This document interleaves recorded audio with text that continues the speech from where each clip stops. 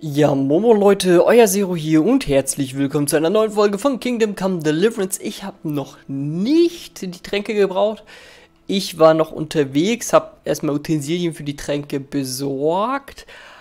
Aber auf dem Weg habe ich wieder ein bisschen was gefunden und das möchte ich gerne mit euch teilen. Außerdem habe ich auch wieder ein paar Level-Fortschritte gemacht, weil ich andauernd Banditen besiegen musste. So, wir haben Gräser und Kräuter 2 gefunden. Ich hoffe, das können wir lernen. Ja, nice. So, Kräuterkunde, Kräuterkunde, nice. So, höre ich, ich habe das noch nicht zu Ende gelesen. Kräuterkunde. Ja, warum nicht? So, in die Satteltasche damit. Habe ich noch ein Buch gefunden gehabt? Weiß ich gar nicht. Da, Marathon. Wenn du nicht mehr kannst, fordere dich noch härter. Was soll schon passieren? Im schlimmsten Fall brichst du tot. An der Ziellinie zusammen. Okay. Oh, ich kann nicht mehr lesen. Na gut, lesen wir es erstmal zum, zum Teil. Rest lesen wir dann später. Oh, Vitalität. Nice, aber den Rest müssen wir später lesen. Habe ich noch ein Buch? Ich habe Schatzkarten gekauft. Ähm, wer braucht den Schlüssel 3? Und ich habe noch einen himmlischen Würfel gefunden. Scheiß Maus, verzieh dich. So, äh. Himmlischer Würfel. Da. Ein wundersamer Spielwürfel aus dem himmlischen Königreich zu den Menschen gesandt. Okay, ich sehe schon, es gibt anscheinend nur Einsen und Dreier. okay. Äh, und ich habe organisiert ein paar Gifte für die Main Quest, wenn es ein bisschen härter wird. So, ähm. Ja, ich würde sagen, ich äh, werde jetzt ein bisschen Alchemie und so weiter machen. Und äh, obwohl, warte, da haben wir noch was. Und zwar Fähigkeiten verbessern. Die Hauptstufe hat sich verbessert. Da haben wir wieder neue Sachen. Ähm, ja, nichts Großartiges halt, ne? Nö. Nehmen wir Speer 3. So, dann haben wir äh, irgendwas noch bekommen, ne? Stärke. So, mit viel Schwung. Dein Angriff verursachen mehr Schaden, verbraucht aber 10% mehr Ausdauer. Du kannst die Gesundheit und Ausdauer deines Gegners schwächen und gegnerische Angriffe mit deinem Schild zu blocken kostet dich 30% weniger Ausdauer. Ja. Keine Ahnung. Ja, Wildschwein bringt mir gar nichts. Nehmen wir Bollwerk. Vielleicht werde ich das eines Tages brauchen.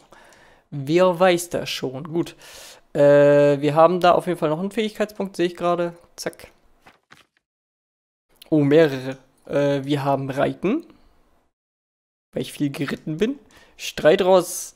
Äh, wetterfühlig. Dein Pferd scheut allgemein etwas weniger bei Unwettern. Dafür jedoch deutlich mehr. Ist dein Pferd verletzt, so ist es schneller. Äh, ja, gut. Ups. Nein, ich... Weg damit. Reparieren.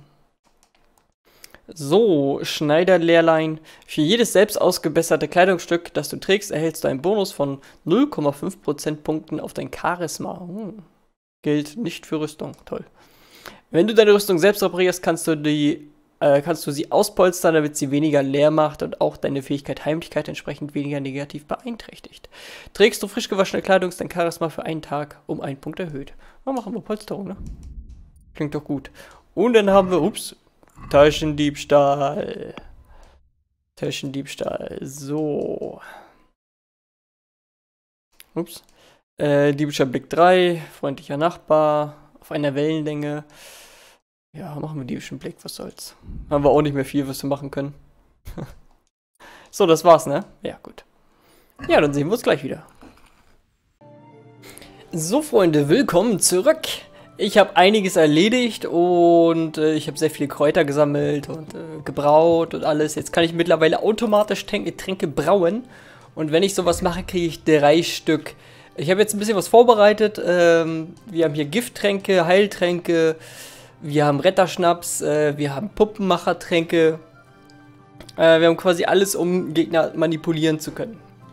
So, Schützentrunk für besseres Zielen, äh, Schlaftrunk zum Schlafen, äh, Strauchdiebtrunk, äh, um äh, schwere Schlösser zu knacken. Das schaffe ich momentan leider auch nicht. Äh, Trank des Baden brauche ich eigentlich gar nicht, oder? Eigentlich nicht. Kann ich eigentlich verkaufen.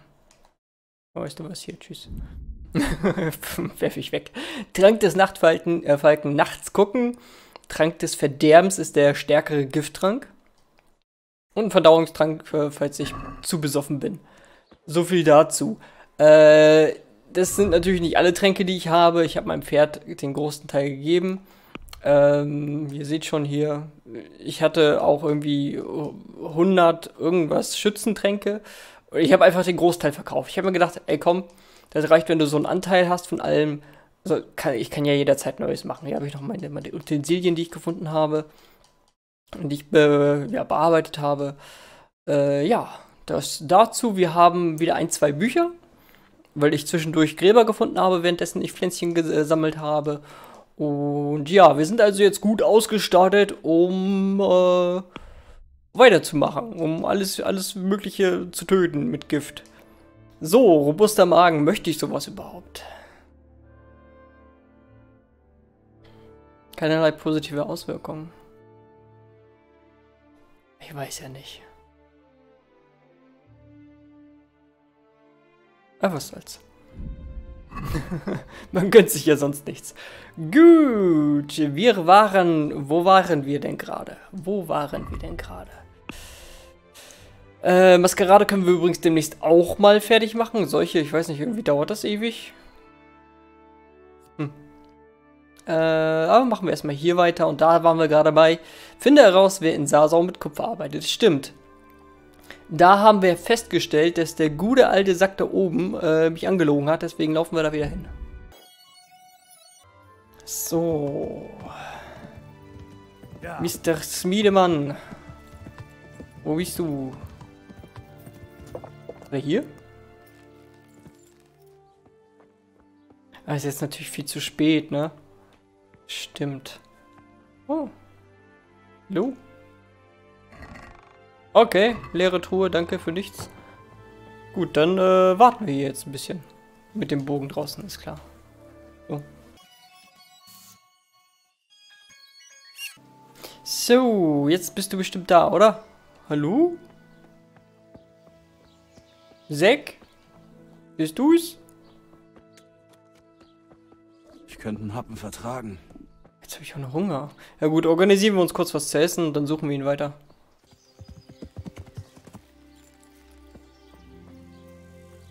Gelobt sei Jesus. Kupfer. Mein Vater sagt, ihr arbeitet nicht mit Kupfer. Ist auch so. Ich habe in der Stadt etwas anderes gehört. Es heißt, ein alter Herr hätte sämtliches Kupfer aufgekauft. Schimpfst du mich ein Lügner? Oder mein Vater? Fordere mich nicht heraus. Oh.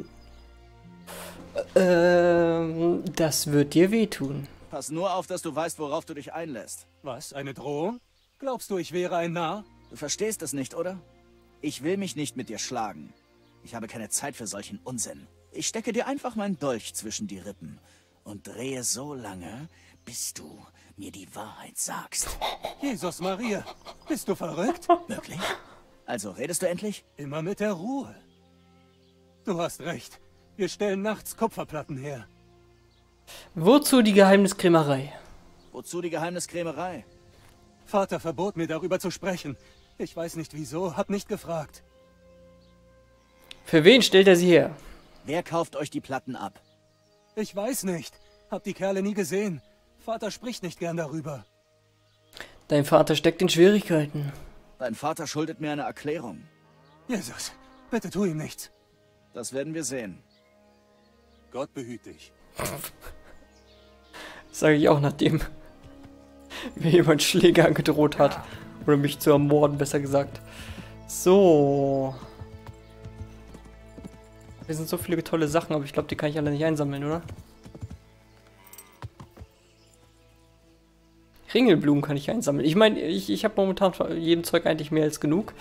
Bis auf äh, die Einbeere, die ist sehr schwer zu kriegen. Und die äh, Trollo, Trolldingsgehens, Trollkirsche. Tollkirsche, Tollkirsche, ne? Wieso sage ich jedes Mal Trollkirsche? Das habe ich damals schon in Skyrim gemacht. Deswegen gucke ich mich mal hier um, ob ich irgendwo Trollke, Tollkirschen finde. Immer diese Trolle. Minze. Minze ist auch nicht schlecht. Ui. Das ganze Feld abgegrast. so, jetzt haben wir Minze. Okay. Sonst haben wir hier nichts. Tollkirsche. Nice, ich habe ich hab, ich hab eine Farm gefunden für Tollkirschen. Okay, Moment. Das ist eins, mit, mit Tollkirschen mache ich halt mein Gift. Deswegen muss ich mir das markieren. Geilo, geilo. Wie viel habe ich jetzt davon bekommen?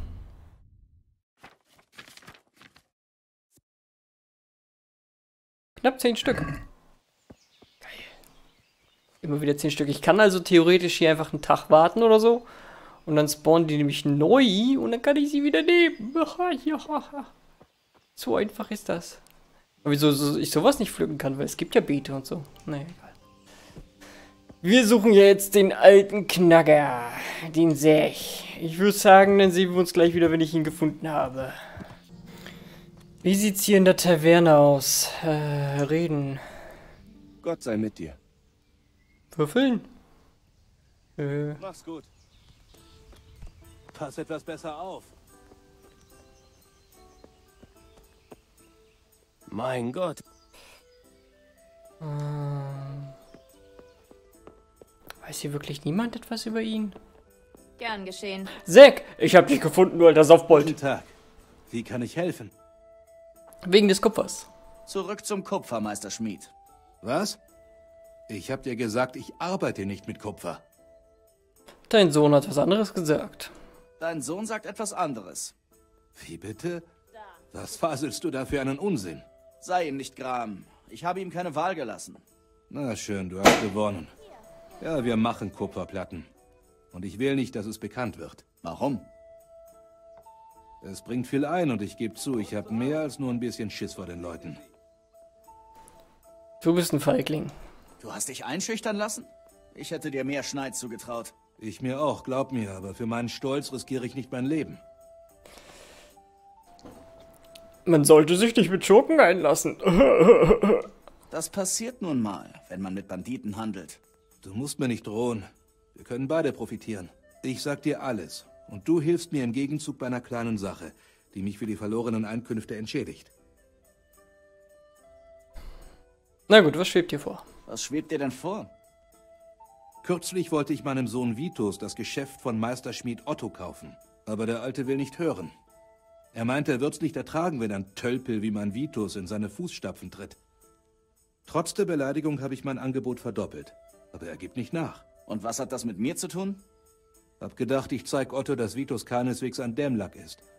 Aber dafür brauche ich einen, der weiß, wie man kämpft. Okay. Sollte kein allzu großes Problem sein.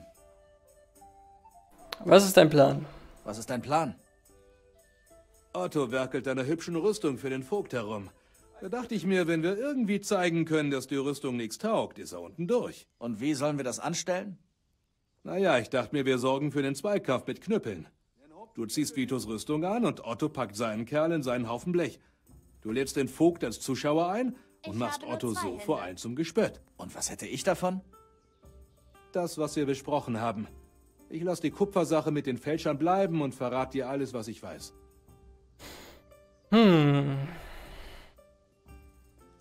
Was wäre, wenn die Rüstung einfach verschwinden würde?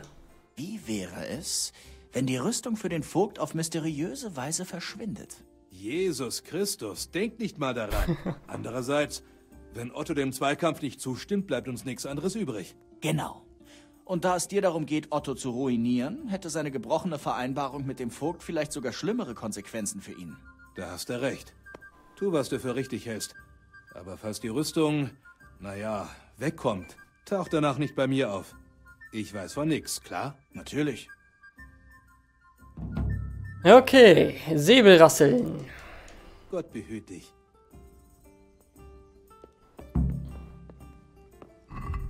Okay, Quest. Säbelrasseln. Dann wollen wir mal. Stiehl die Rüstung des Vogts aus Ottos Werkstatt. Easy. Klauen ist leichter als kämpfen. Komm mal hier, fertig. Reiten wir doch einfach mal geschwind dorthin. Ich frage mich, ob ich den Zweikampf trotzdem machen könnte. Ich meine, ich will es nicht, weil... Keine Ahnung. Die Leute blocken hier zu viel. Ich mag das nicht, wenn man sich nicht treffen kann. Und mit Pfeil und Bogen kann man sie immer treffen. Headshot, Alter. Das wäre mein Dream. Guten Tag, alte Frau. Was zur Hölle machst du da? Ich bin an dir vorbeigelaufen. Tu mal nicht so.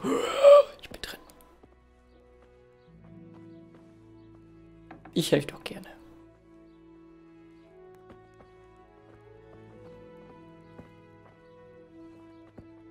Der Meister Otto. Oh, Glück und Gesundheit. Übung, reparieren. Bitte zeig mir. Selbstverständlich. Fortgeschritten. Ich möchte meine Technik. Zuerst. Na gut, dann nicht. Ähm, ich, Du wirst zu einem Zweikampf herausgefordert. Meister Otto, ich habe eine Botschaft für dich von Zach, dem Schmied. Wenn es ein weiteres seiner großzügigen Angebote ist, kehr direkt um. Ich verkaufe nicht und damit hat es sich. Nein, etwas anderes. Vitus fordert dich zu einem Zweikampf heraus. Was? Ich soll mit diesem Balk kämpfen? Zach hat wohl den Verstand verloren. Hast du Angst? Hast du etwa Angst vor ihm, Meister Otto? Ha, ich? Angst vor dem? Absurd. Aber ein angesehener Handwerker wie ich kann sich kaum balgen wie ein Halbstarker. Es wird ein Zweikampf mit Knüppeln, kein Blutvergießen. Höchstens blaue Flecken und ein paar Dellen in der Rüstung. Zach erwählte mich, Vitus Rüstung zu tragen. Und nun muss von mir ebenfalls ein Recke auserkoren werden? Hm, klingt vernünftig. Gut. Wann und wo soll der Zweikampf stattfinden? Immer langsam mit den jungen Pferden, Bursche. Ich möchte dir ein Gegenangebot machen. Sicher zahlt Zach gut? Ich tue nicht, ist nicht wegen dem Geld. Ich mach's nicht des Geldes wegen, sondern aus Gefälligkeit. Du bist wahrlich ein barmherziger Samariter. Ich weiß, ich weiß. Dennoch, ich könnte dir mehr zahlen und dir einen Kürass maßschneidern. Was sagst du? Du meinst, ich soll als dein Recker antreten? Ich nehme nicht an, dass Zach das gefiele. Nein, nein, du kämpfst für Zach. Und verlierst. Okay, ich mache es. Na gut, ich tue es. Ausgezeichnet. Zach wird sich noch wundern. Du wirst dich noch wundern. Wähle Zeitpunkt und Ort. Was? Ich? Du wirst herausgefordert, also ist es dein Recht. Mir egal. Klär das mit dem Vogt. Er sollte sowieso Bescheid wissen, damit man mich nicht für einen Störenfried hält. In Ordnung. Geht klar, Chef, aber erstmal klaue ich dir deine Rüstung. Gott behüte dich. Ich, ich, ich, ich, was. Oh. Hallo, bist du Handwerker?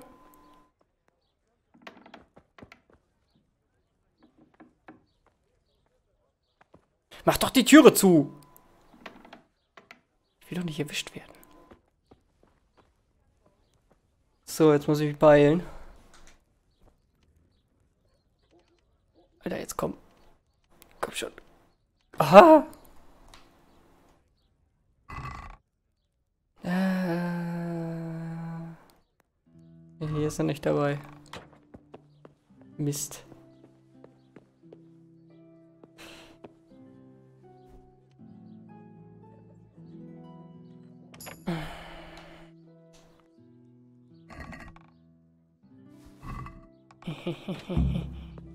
Oh, hi.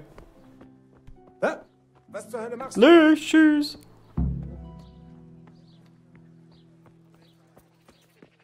So, was jetzt mit dem Duell? Ich will ein nacktes Duell machen.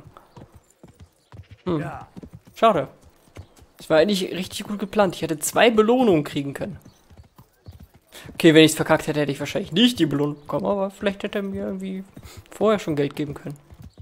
Ist ja nicht so, als hätte ich genug Geld. Aber egal. Mach's alles nur wegen der Gier.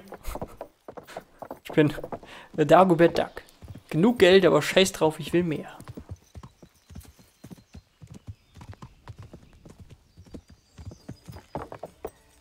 So, perfekt eingepackt.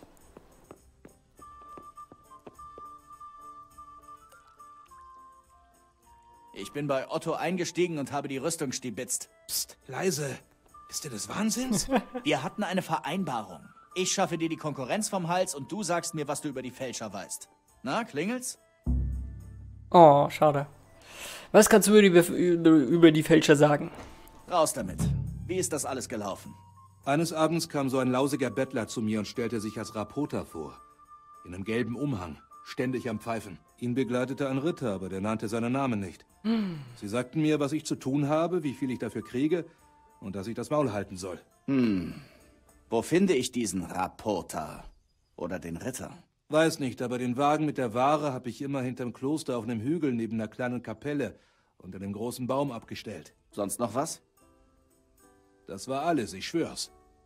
Das genügt mir fürs Erste. Gut. Bis später. So, sehr schön. Das haben wir erledigt.